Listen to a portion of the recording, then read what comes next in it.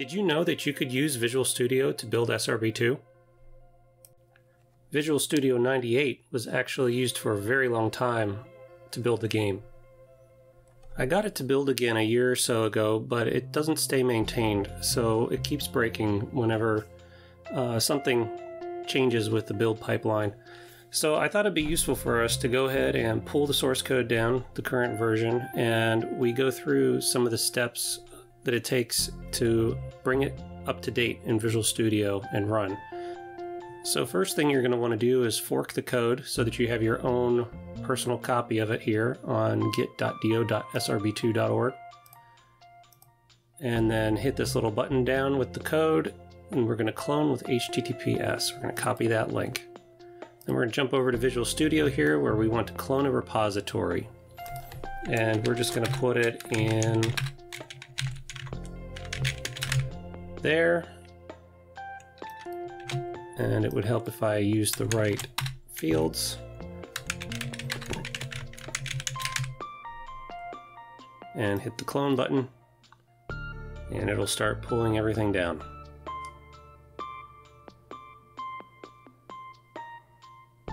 Now once that's done, you'll have a whole bunch of different solution files on the right hand side.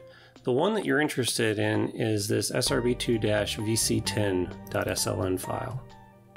So double click on that. It's going to open up a lot of projects. The one you want is the SRB2 Win project. These must be old projects back from when they used to use DirectDraw and kept them as separate ones. So SRB2 Win is the one that we're interested in. We're not going to cover compiling OpenGL um, as part of this. That I'll have to save that for a future video. So first thing we want to do is right click on it, choose rebuild, and see what kind of errors we get.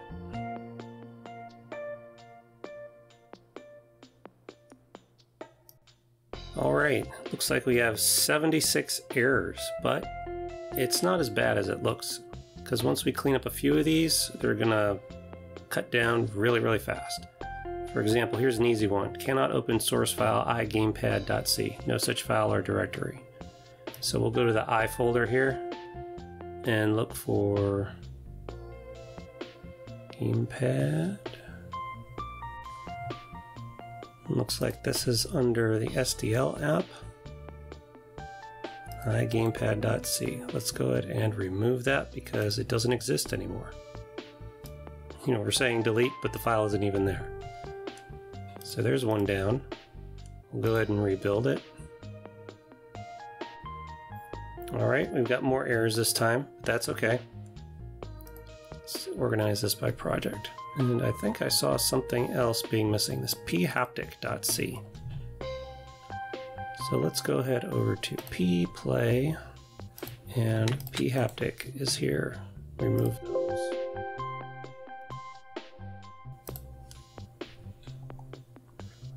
let's see if there's any other ones that we can get rid of for the time being. Sometimes it's actually easier to look at the build logs.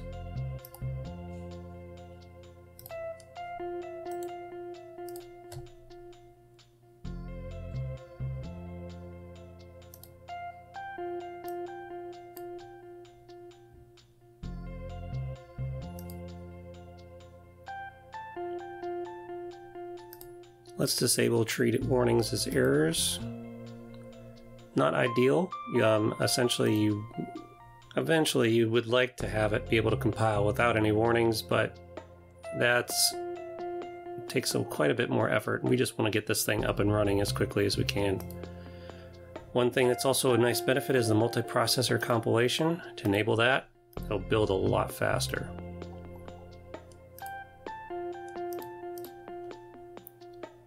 We try it again. So it's, all, it's nearly done.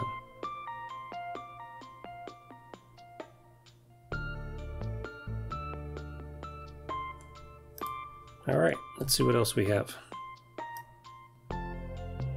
Ah, it didn't build after all.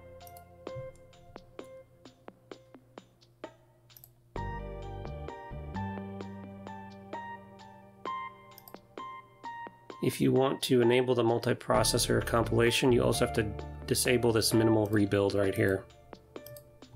And it's definitely worth it because a lot of times you're just rebuilding the entire project. Let's go ahead and rebuild. And it goes really fast now. Sometimes you'll get these things, but potentially un you know, uninitialized local pointer variable. This new CMD, that's because it's being used right here, and up here it's just declared without any initialization. So an easy way to fix that, just have it equal null. I think this has something to do with the version of C standard that's being used between compilers, and Visual Studio uses a different version, so there's a couple little things that have to be modified. Another issue here is you get this, which is actually a warning. It's not an error. 4146. Um, so we need to suppress that. And so in the properties here, under advanced disable specific warnings, we need to add that number, 4146.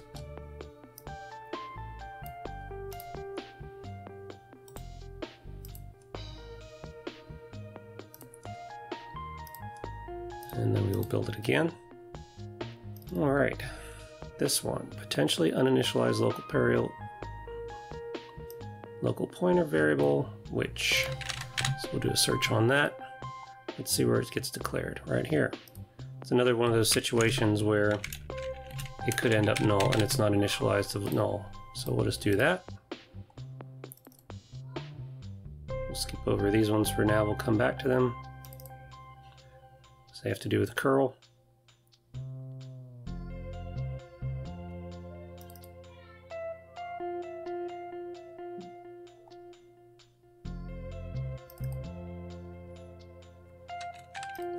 It's another one of those potentially uninitialized variables.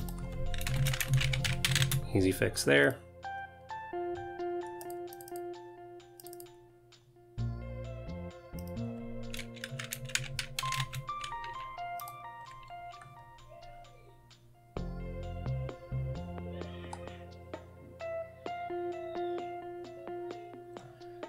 These are part of the OpenGL project. Let's unload that. We'll see where we are now. Eh, 56 errors, not too bad. Getting closer.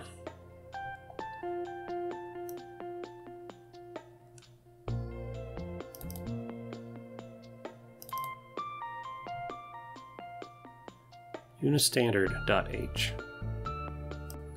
Well, it turns out Windows doesn't even use this. So we can go up here and it looks like there's a define preprocessor macro. So we can do this if not defined underscore win32 and if. So that'll disable that. Let's go ahead and rebuild.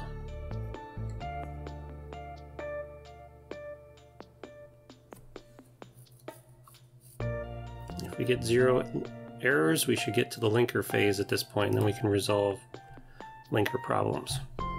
So we have 55 remaining. Resolves external symbol Lua open. It's probably a few files that have changed here that end up not being included. So let's just take a look. One thing that can be handy is to use this find in all files, but we're going to change to look into a directory instead. So we're looking a custom folder. We're just going to look in the entire repository here. All right, let's look for the first one, Lua open underscore OS.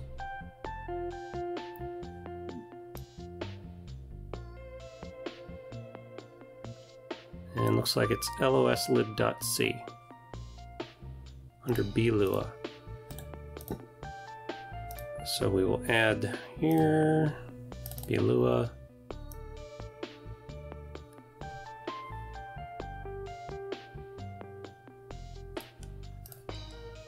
loslib. Add that. Let's rebuild again. Lua color lib is missing.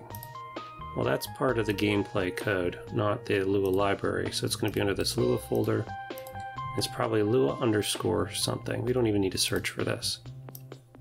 Lua underscore color lib. There it is. We'll add that in. Let's do another one. Down to 53. R thing bounding box visible. So let's do a search for that.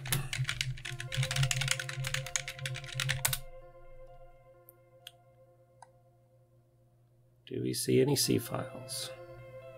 rbbox.c. Let's see if that's added under the R folders. Nope, I don't see a bbox.c, so let's go ahead and add it.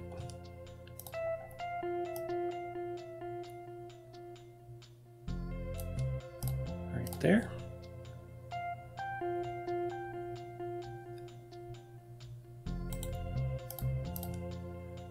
Was there an H file along with that? we may as well do it just for completeness. No. Alright, compile again.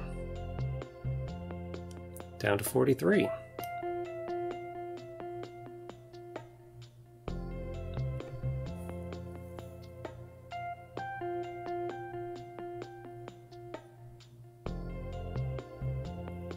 Okay, these look like curl issues as well as libpng issues, so we need to fix those next.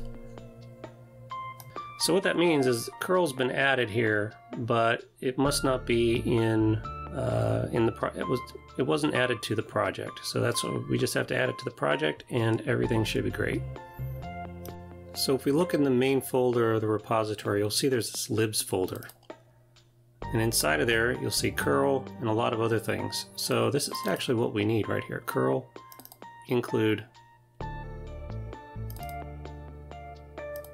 So this path right here we need to have as an additional include directory. Also, um, this is can be a really rookie mistake, is make sure you're on Win32, not x64. The project will probably default to x64. You need to have it on Win32. And that will also affect um, what are in these property pages as well. So if you'll see you can do all configurations, but you can only do one platform at a time unless you choose all platforms here. So let's go to the C++ settings and add the additional include directory.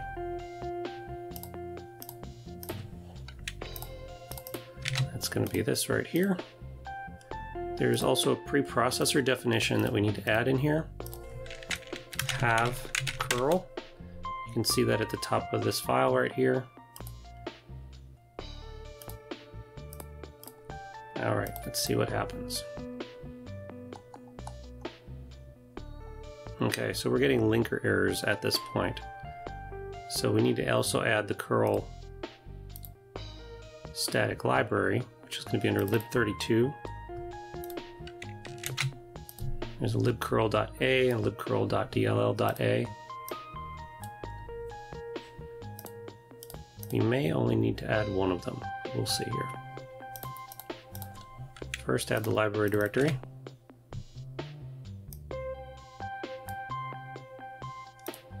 And then we will add the additional dependency. We'll try just the dll.a for now and see if that works. Alright, we're down to 18 errors now. And all of the errors have to do with libpng. So we've taken care of our curl problem.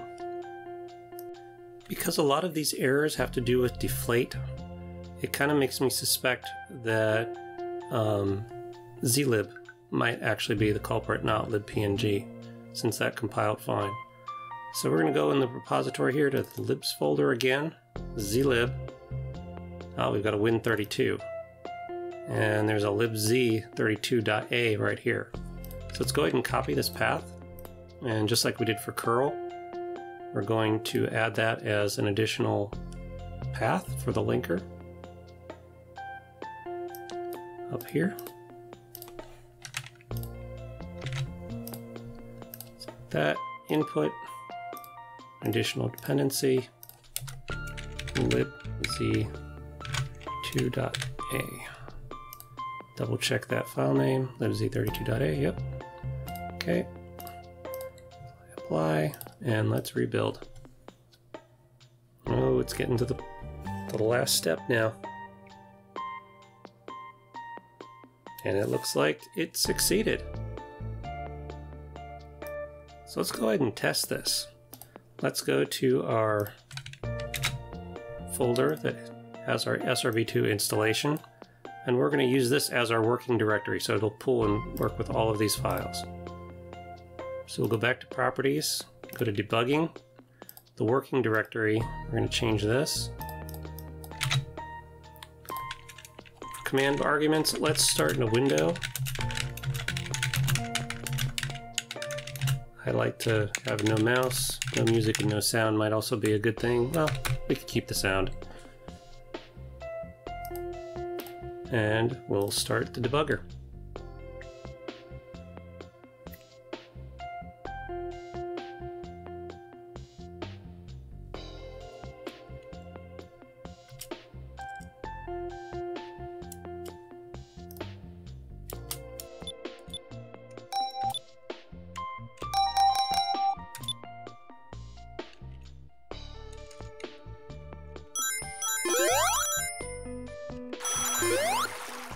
So there you have it. You can build SRB2 in Visual Studio now. I'm going to actually do a pull request or merge request for um, the changes we did here. Bring the current version up to date so you can just pull it and compile in the future. And, and until it breaks again, well, at least now you know what to do.